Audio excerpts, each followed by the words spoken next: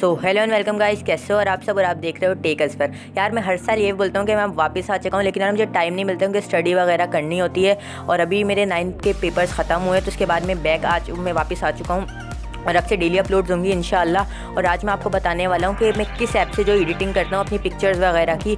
और, जैसे मैं आपको बताऊँगा कि किस तरीके से अगर आप जैसे सनसेट फ़ोटोज़ ले सकते हैं, जैसे अगर आप सनसेट फ़ोटोज़ लेते हैं, उसका एक्सपोजर बहुत ज़्यादा बड़ा हुआ आता है। और अगर आप एक्सपोजर कम करेंगे तो पिक्चर क्वालिटी वगैरह गिरती है और बहुत ज़्यादा अंधेरा हो जाता है, अच्छी नहीं लगती। मैं आपको बताऊँगा कि सनसेट फ़ोटोज़ किस तरह ली जाती हैं, जैसे कि आपने थंबनेल में देखा होगा रिज़ल्ट के रिज़ल्ट कैसा है। तो अगर आपको वीडियो पसंद आए तो लाइक ज़रूर कर देना, चैनल को सब्सक्राइब करना और शेयर अपने दोस्तों के साथ लाजमी करना। तो चलिए फिर वीडियो को शुरू करते हैं। तो यार, मैं सबसे पहले आपको बता दूँ कि मैं सॉफ्टवेयर कौन सा यूज़ करता हूँ एडिटिंग के लिए तो वह है लाइट रूम इसका जो प्रीमियर वर्जन है, मेरे पास फ्री में अगर आपको चाहिए हो तो मैं इसका आपको लिंक डिस्क्रिप्शन में दे दूँगा। वहाँ से या तो डिस्क्रिप्शन में दूँगा, मेरे इंस्टाग्राम के बायो में इसका मैं लिंक पेस्ट कर दूँगा। तो आप वहाँ से जाके इसको डाउनलोड करना क्योंकि लाइट रूम ये जो फिर कॉपी दे देता है वीडियो पर कि इन्होंने हमारा प्रीमियम वर्जन फ्री में दिया है। तो मैं या तो इंस्टाग्राम के बारे में इंस्टाग्राम का लिंक भी डिस्क्रिप्शन में वहाँ से जाके आप चेक कर सकते हैं। देखिए ये वाला है लाइट रूम लाइट रूम को जैसे ही आप मैं ओपन करता हूँ अभी आपको दिखाता हूँ तो कुछ इस तरीके का इंटरफेस आएगा। लेकिन जब आप इसको ओपन करेंगे नया नया तो वहाँ पर एक, एक साइन इन का ऑप्शन आ जाएगा। आपको साइन इन नहीं करना वहाँ पर एक ऊपर क्रॉस का ऑप्शन आ रहा होगा। एक्स का वहाँ पर एक्स पे क्लिक कर देना तो कुछ इस टाइप का वो इंटरफेस शो हो जाएगा। उसके बाद आपने यहाँ पर प्लस पर क्लिक करना है। देखिए यहाँ पर शो रहा होगा आपके पास। प्लस में जाने के बाद आपको यहाँ पर आपकी गैलरी में जितनी फ़ोटोज़ हैं वो शो हो जाएँगी। जैसे अभी शो हो चुकी है, अब जैसे मुझे पिक्चर इस वाली पिक्चर को एडिट करना है। अब जैसे ये वाली, और तो यहाँ पर ऐड पर सिंपली आपने क्लिक कर देना है। उसके बाद ये देखें वन फ़ोटो सक्सेसफुली इम्पोर्टेड यहाँ पर आपने जाना है और इस पर क्लिक कर देना है। उसके बाद देखिए, मेरे पास ये सिलेक्टिव टूल वैसे सिलेक्टिव टूल और हीलिंग ब्रश आपको मिलता नहीं है, लेकिन देखिए ये फोकस देखें सिलेक्टिव ये वाला सिलेक्टिव और ये हीलिंग ब्रश है, दोनों आपको फ्री वर्जन में नहीं मिलते, लेकिन आपको प्रीमियम वर्जन में मिल जाएँगे, जो मैं आपको जिसका लिंक डिस्क्रिप्शन में दूँगा। तो यहाँ से आपको सिंपली क्लिक करना है, सबसे पहले लाइट पे जाना है।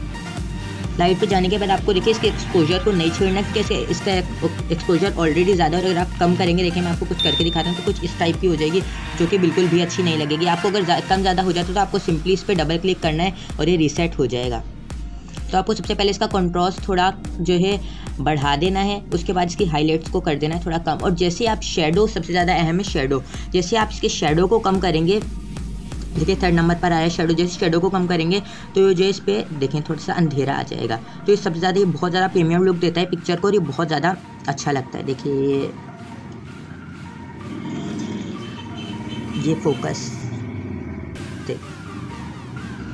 देखें फोकस हो गया। अब ये शेडो कम किया तो पिक्चर बहुत ज़्यादा अच्छी लग रही है। उसके बाद आपने वाइट्स को इसको कर देना है कम, क्योंकि वाइट्स ऑलरेडी इसमें बहुत ज़्यादा हैं। उसके बाद इसके ब्लैक्स को थोड़ा सा आपने ब्लैक्स को भी थोड़ा कम कर दें उसके बाद आपने यहाँ पर जाना है टेम्परेचर में। टेम्परेचर में आपको टेम्परेचर को नीचे आना तो अगर आप वो थोड़ा माइनस की तरफ़ लेके जाएँगे तो ये ब्लू हो जाएगा और प्लस की तरफ़ लेके जाएँगे तो ऑरेंज उसके बाद आपको इसकी वाइब्रेंस को थोड़ा सा बढ़ा देना है। आपने इसकी वाइब्रेंस को बढ़ाने के बाद ताकि वाइब्रेंस अगर आप बढ़ाएँगे वाइब्रेंस से कलर वापस आ जाते हैं। जैसे देखें वाइब्रेंस थोड़ी सी बढ़ाई तो इसमें पिक्चर में थोड़ी अच्छी क्वालिटी आ गई है। उसके बाद आपने जाना यहाँ पर मिक्स में। मिक्स में जाने के बाद आपने इसकी ऑरेंज की हू इस हू को थोड़ा सा कर देना है कम। क्योंकि जो हमारा सूरज है, जो सन है, वो जो ऑरेंज है तो आपने इसकी हू को कर देना है कम। अगर आप ज़्यादा करेंगे तो बहुत ज़्यादा चमकने लग जाएगा। उसके बाद आपने स्काई का जो ब्लू कलर है, इसको भी हू को कर देना है थोड़ा सा कम, ताकि थोड़ी सी ब्लैक स्टोन दे। उसके बाद यहाँ से कर देना है डन उसके बाद आपने जाना है यहाँ पर और इसकी क्लैरिटी को हल्का सा बढ़ा देना है। हल्का सा बढ़ाने के बाद उसके बाद इसकी विग्नेट को कर देना है थोड़ा सा कम। जैसे विग्नेट को ज़्यादा कम करेंगे तो देखिए कुछ इस टाइप का हो जाएगा और ये बिल्कुल भी अच्छा नहीं लगेगा। तो इसलिए आपने इसकी विग्नेट को हल्का सा कम करना है। उसके बाद यहाँ जाना है शार्पनिंग में। शार्पनिंग पे जाने के बाद हल्की सी शार्पनिंग को बढ़ा दें। नॉइज़ रिडक्शन को हल्का सा बढ़ा दें। और फिर उसके बाद आपने सबसे ज़्यादा जो अहम चीज़ है, आप यहाँ आपने फिर जाना है सबसे अहम चीज़ जो है सिलेक्टिव टूल यहाँ पर आपने जाने के बाद यहाँ पर करना है सिंपली प्लस पर क्लिक और यहाँ पर हल्का सा आपने ये सूरज की ये सन की तरफ़ ना हो यहाँ पर।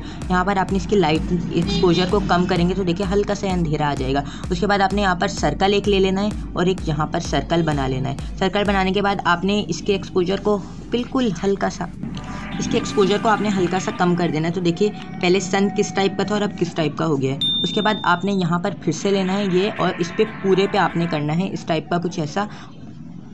देखें एक्सपोजर को कम करते ही काफ़ी अच्छा लुक आ चुका है, लेकिन अब आपने फिर से सन पर क्लिक करना है और यहाँ पर इस पर जाके क्लिक करके हल्का सा एक्सपोजर को बढ़ा देना है।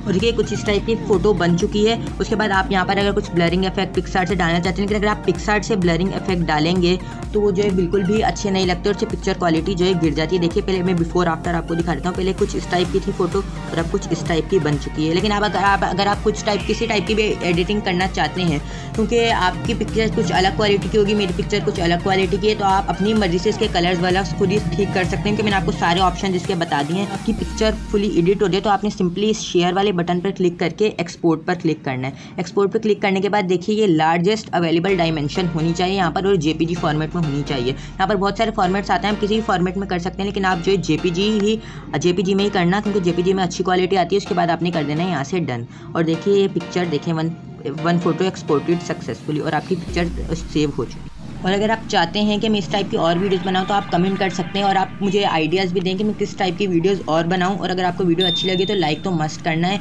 और चैनल को भी सब्सक्राइब करें। तो मिलते हैं अगली वीडियो में, तब तक के लिए अल्लाह हाफिज़।